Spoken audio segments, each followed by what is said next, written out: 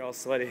Oh, nice. So, um, we're missing one of the morning girls, Peta. So, she's probably sick. So, we're doing get well burpees. Ready, ladies? Give me 10. Go ahead. Say get well, Peta. Get well, Peta. Keep going. No.